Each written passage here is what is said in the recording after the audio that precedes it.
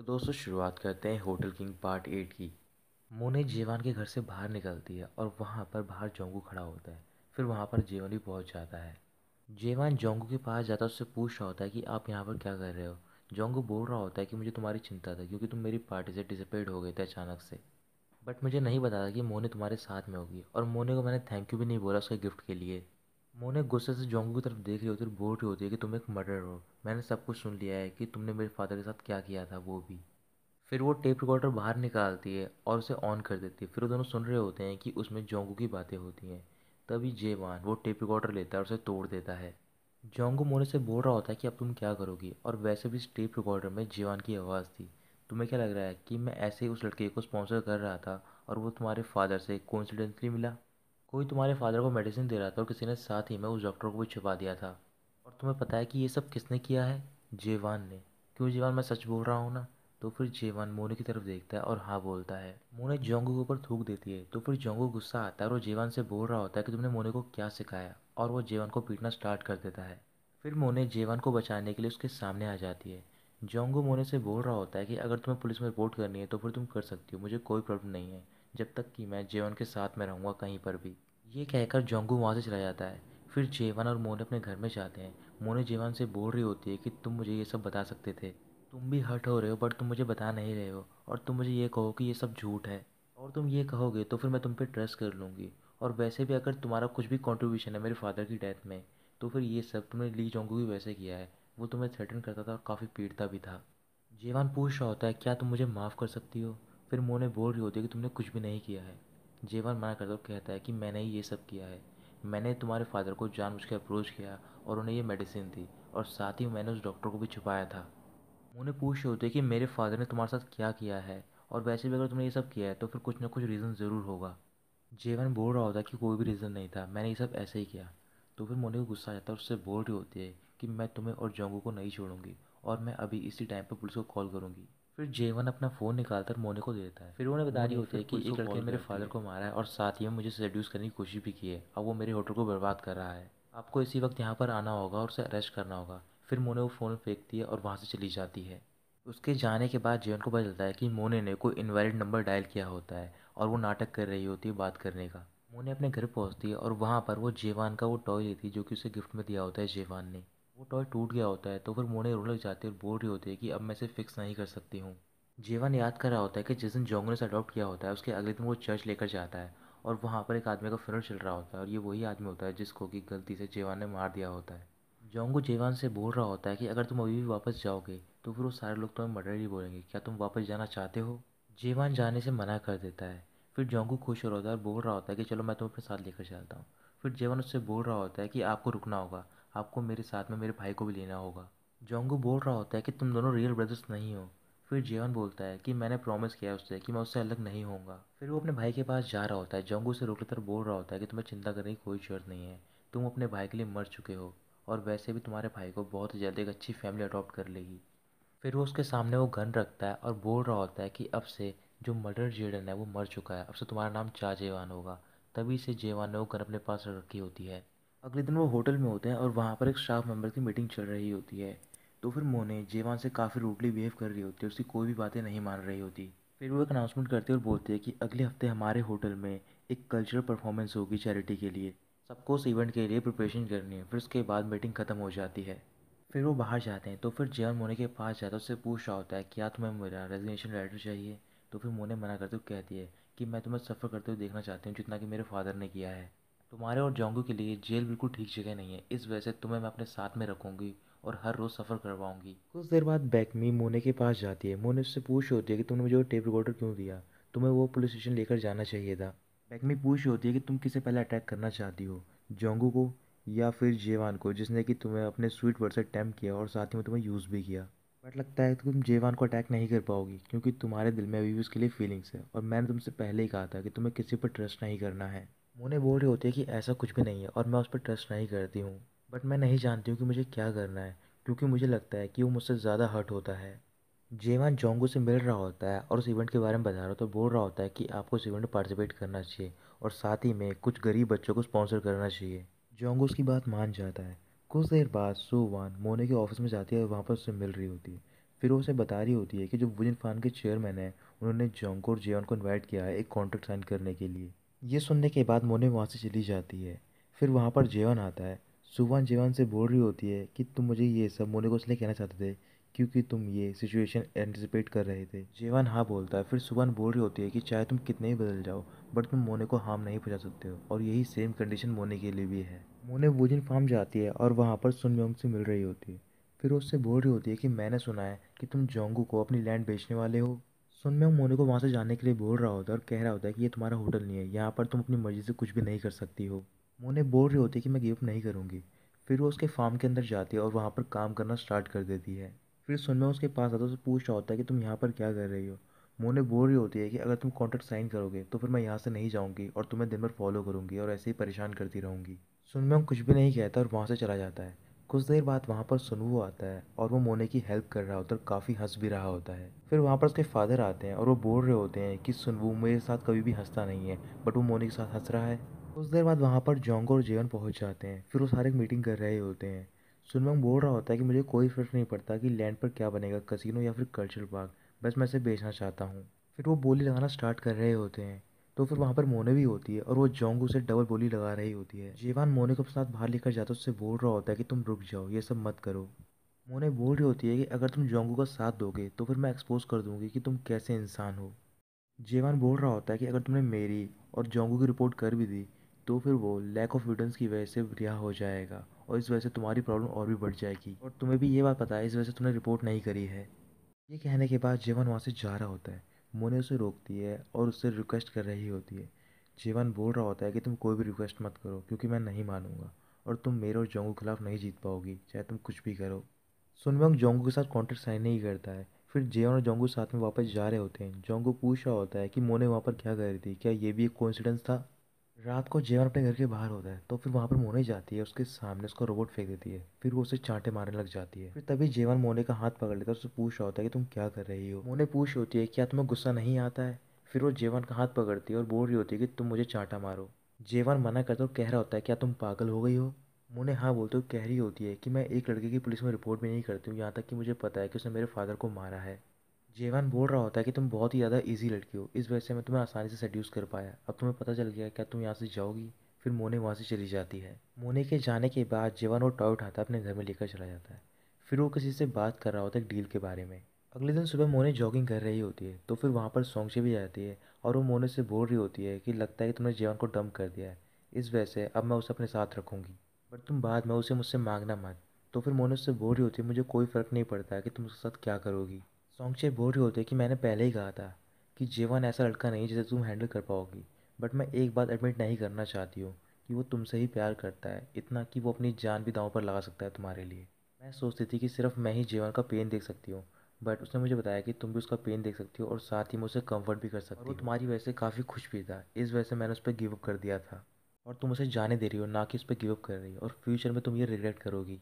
ना ही मैं तुम्हें स्टील करने दूँगी जेवान को मुझसे। ये कहकर सॉन्गची वहाँ से चली जाती है।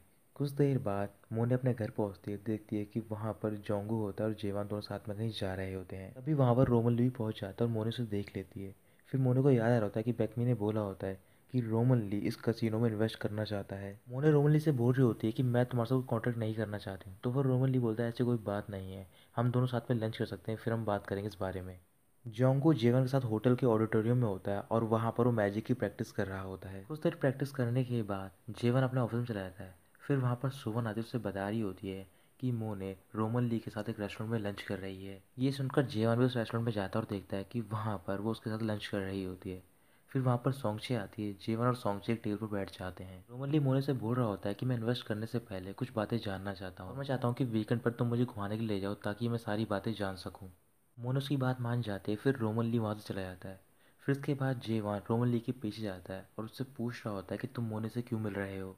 मैंने तुम्हें वैसे ही मना किया था कि तुम मोने के पास मत जाओ। तो फिर रोमन ली बोल रहा होता है कि मेरे पर्सनल इंटरेस्ट है, इस वजह से मैं जाऊँगा। और मैं उनके साथ डील नहीं करता है कि जो मुझ पर ट्रस्ट नहीं करते हैं। तभी वहाँ पर बैकमी पहुँच जाती है और वो किसी तरीके से रोमन ली को वहाँ से भेज देती है। फिर वो जेवान को रोमन ली के बारे में बता रही होती है। इसके बाद जेवन भी वहाँ से चला जाता है। कुछ देर बाद बैकमी अपने ऑफ़िस में जाती है तो फिर वहाँ पर रोमली पहले से ही मौजूद होता है। बैकमी रोमली से बोल रही होती है कि तुम जेवान से दूर रहो, क्योंकि तुम उसे हैंडल नहीं कर सकते हो। रोमली उसकी बात मान जाता है, फिर वो बोल रहा होता है कि मोने बहुत ज़्यादा पैशनेट है अपने वर्क के लिए, क्योंकि वो मेरी डील के लिए अपने सेल्स भी देने को तैयार है। कुछ देर बाद ऑडिटोरियम में वो इवेंट स्टार्ट हो जाता है और वहाँ पर जो स्टाफ मेंबर होते हैं, वो परफॉर्म कर रहे होते हैं। कुछ देर बाद वहाँ पर जोंगो आता है और परफॉर्म कर रहा होता है। परफॉर्मेंस के बाद वो सारे बच्चों को कैंडीज और टॉयज दे रहा होता है। जोंगो की दो परफॉर्मेंस होती है तो फिर एक परफॉर्मेंस खत्म करने के बाद वो अपने ऑफ़िस में चला जाता है। फिर वहाँ पर जेवन जाता है और उसकी मालिश कर रहा होता है। जोंगो उन सारे बच्चों के बारे में कुछ उल्टा सीधा बोल रहा होता है तो फिर जेवन वो सारी बातें रिकॉर्ड कर लेता है। फिर जेवान वो ऑडियो क्लिप उस ऑडिटोरियम में प्ले कर देता है तो फिर सारे लोग उसको सुन लेते हैं। सारे बच्चे वहाँ से जा रहे होते हैं तो फिर जोंगू वहाँ पर आता और पूछ रहा होता है कि सब कहाँ पर जा रहे हैं। वहाँ पर जोंगू की वाइफ उसकी बेटी भी होती है और ये सब सुनने के बाद वो भी गुस्से में वहाँ से चली जाती है। इसके बाद जोंगू बाहर जाता है तो फिर वहाँ पर मोने आती है। और वो जोंगू का मज़ाक उड़ा रही होती है। जोंगू पूछ रहा होता है, क्या ये सब तुमने किया है? मोने बोल रही होती है कि ये बात इंपॉर्टेंट नहीं है, बल्कि ये इंपॉर्टेंट है कि सारे लोग जान गए कि तुम किस टाइप के पर्सन हो। जोंगू गुस्से में बोल रहा होता है, तुम्हें क्या लगता है कि तुमने ये सब किया है और मैं तुम्हें ऐसे ही जाने दूँगा? मोने याद कर रही होती है कि जब ये इवेंट स्टार्ट होने वाला होता है तो फिर सुबह उसके पास आई तो उसे बोल रही होती है कि ये इवेंट जेवान ने बहुत ही अच्छी तरीके से प्रिपेयर किया है और ये काफ़ी इंटरेस्टिंग होने वाला है। मोने कुछ भी नहीं बोलती और वहाँ से चली जाती है। शाम को जेवान सोंगचे के रेस्टोरेंट में होता है। फिर सॉन्ग जो उसके पास आते उससे पूछ रही होती है कि तुम्हारा शो तो काफ़ी अच्छा गया है बट तुम अभी भी सेटिस्फाई नहीं लग रहे हो। जैसा तुमने बोला था मुझे करने को, मैंने वैसा कर दिया है। सारे रिपोर्टर अब जोंगू के बारे में आर्टिकल्स लिखेंगे। अगली सुबह तक जो भी जोंगू की स्टोरी है, वो सारी वायरल हो जाएगी सोशल मीडिया पे। फिर वो जीवन के और पास जाते उससे बोल रही होती कि मैंने मोने से बोल दिया है कि अब मैं उसे, तुम्हें अपने आप से स्टील नहीं करने दूँगी। और मैं तुम्हें ये वार्निंग के लिए बोल रही हूँ, ताकि जब भी तुम मेरे साथ रहो तो फिर तुम्हें केयरफुल होना होगा। फिर तभी जेवान के पास जोंगो को कॉल आता है और वो उससे मिलने के लिए जाता है। उससे मिलने के बाद जोंगू बहुत ज़्यादा गुस्से होता है पूछ रहा होता है कि तुम कहाँ पर थे। जीवन बोल रहा होता है कि मैं रिपोर्टर्स को रोक रहा था और आप मुझे माफ़ कर दो क्योंकि मैंने आपको नहीं बताया कि माइक हमेशा ऑन रहते हैं इफ़ेक्ट के दौरान। फिर वो अपनी स्टिक लेता है और जीवन को पीटने जा रहा होता है। जीवन स्टिक पकड़ लेता है बोल रहा होता है कि रिपोर्टर भी बाहर है। को ये सब नहीं करना चाहिए और ये कहकर फिर जीवन वहाँ से चला जाता है। मोने जीवन के घर के बाहर खड़ी होती है उसका वेट कर रही होती है। तभी वहाँ पर जीवन पहुँच जाता है। फिर वो उससे बोल रही होती है, जोंगू ने मुझसे कहा है कि वो इसे ऐसे नहीं जाने देगा। और मैंने उससे बोल दिया है कि वो मुझसे फ़ाइट कर सकता है। अब तुम्हें चूज़ करना है कि तुम जोंगू का साथ दोगे या फिर मेरा। जीवान कुछ भी नहीं बोलता और मोने वहाँ से चली जाती है। मोने अपने घर पे पहुँचने के बाद लेवन ली को कॉल करती है और उससे बोल रही होती है कि तुम्हें शहर घूमना चाहते थे ना? मैं तुम्हें कल घुमाने के लिए तैयार हूँ, मेरे पास टाइम है। अगले दिन जोंग को अपने ऑफ़िस पहुँचता है तो फिर वहाँ पर उसे डेस्क पर एक लेटर मिलता है। जब वो उसे ओपन करता है तो फिर उसमें लिखा होता है, मुझे लगा था कि तुम्हें खुशी होगी ये लेटर पढ़कर बट तुम बहुत ज़्यादा डिसपॉइंटेड हो। जोंग को गुस्से में आकर लेटर फाड़ देता है, फिर वो वहाँ से चला जाता है। फिर वो बाहर जाकर एक जगह पर खड़ा होता है और वहाँ पर घर की ओर देख रहा होता है। जोंगू याद कर रहा होता है कि आज से कई साल पहले वो यहाँ पर आया था और यहाँ पर एक लड़की रहती थी। जोंगू उस लड़की को जानता था और वो उससे माफ़ी मांग रहा होता है। तभी वो लड़की जोंगू को वहाँ से जाने के लिए बोलती है। फिर जोंगू मना कर रहा होता है और वो सुनता है कि वहाँ पर एक बच्चा रो रहा होता है। जोंगू बच्चे को देखने के बाद पूछ रहा होता है कि किसका बच्चा है? तो फिर लड़की बोल रही होती है, तुम्हें चिंता करने की कोई ज़रूरत नहीं क्योंकि ये तुम्हारा बच्चा नहीं है। जोंगू को वहाँ पर एक लेडी दिखाई देती है, उससे पूछ रहा होता है, क्या इस घर में योनी रहती है? तो फिर लेडी बोल रही होती है कि ये मेरा ही नाम है और मैं ही यहीं पर रहती हूँ। फिर जोंगू वहाँ से चला जाता है। मोने रोमन ली के साथ होती है और उसका कुछ लोग पीछा कर रहे होते हैं और वो आदमी होते हैं जोंगू के। जेवन अपने ऑफ़िस में सुनवो को बुलाता है और उससे पूछ रहा होता है कि तुम्हारे फादर क्या करते हैं? वो बोल रहा होता है कि मेरे फादर फार्म में काम करते हैं। क्या ऐसा कोई प्रॉब्लम है मेरे यहाँ पर काम करने से? जीवन मना करता और कहता है कि दूसरी प्रॉब्लम है। तुम मेरे खिलाफ गए हो, इस वजह से तुम डिजर्व करते हो फायर होना। सुनो बोल रहा होता है, मैं ये बात मानने को तैयार हूँ बट उसका क्या है कि तुम भी मोने के खिलाफ गए हो, बल्कि वो एक चेयरमैन है। जीवन बोल रहा होता है कि ये हमारे ऊपर नहीं है डिसाइड वैसे भी मैं तुम्हें फायर नहीं करना चाहता हूँ बट तुम्हारे पास सिर्फ़ एक ही चॉइस है कि तुम्हें अपने फादर को एक्सपोज करना होगा। सुन, वो जीवन से बोल रहा होता है कि तुम्हें बोर्ड में कुछ मिला था बट तुमने उसे छुपा लिया है। लेकिन मैं सिर्फ़ एक ही बात जानना चाहता हूँ, क्या तुम वापस आओगे? तो फिर जीवन बोलता है कि अगर मैं लगी रहा तो फिर मैं वापस आऊँगा। सुन, वो जीवान की बात मानने के लिए तैयार हो जाता है। रोमनली मोने के साथ घूम रहा होता है, फिर वो कुछ देर के लिए मोने को वहाँ से भेजता है। फिर उन लोगों के पास जाता है, उन्हें पीटना स्टार्ट कर देता है। कुछ देर बाद वो वापस लौट जाते हैं। फिर रोमली अपने घर जा रहा होता है, तभी वो देखता है कि उसके रूम के बाहर जेवन खड़ा होता है। जेवान ने रोमली को बताया होता है कि तुम्हारा और मोनी का पीछा जोंगू के लोग कर रहे हैं। कुछ देर बात करने के बाद फिर जेवन वहाँ से चले जाता है। मोने के पास जेवन का मैसेज आता है, बट वो जोंगू ने करा होता है और वो उसे एक जगह पर मिलने के लिए बुला रहा होता है। फिर मोने एक जगह पहुँचती है और वहाँ पर एक घर होता है, जब घर के अंदर पहुँचती है तो फिर वहाँ पर बहुत सारे बर्ड्स होते हैं। मोने डर के मारे वहीं पर बैठ जाती है और वो चिल्ला रही होती है।